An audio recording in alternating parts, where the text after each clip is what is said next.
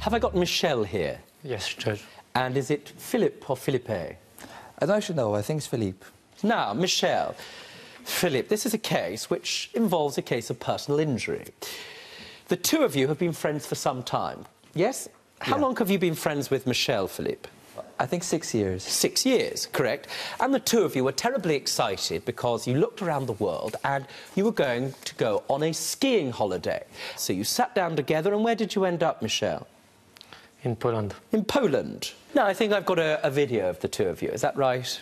Is this you skiing in Poland? Well, it looks sort of good. Now, have you skied before, Michel? Probably. You ha- Is that you, Michel, or is that you, Philippe? That's Philippe. Well, who's a better snowboarder? I think it's me because I've I've done a little bit more snowboarding, and Michel, he's better with his ski.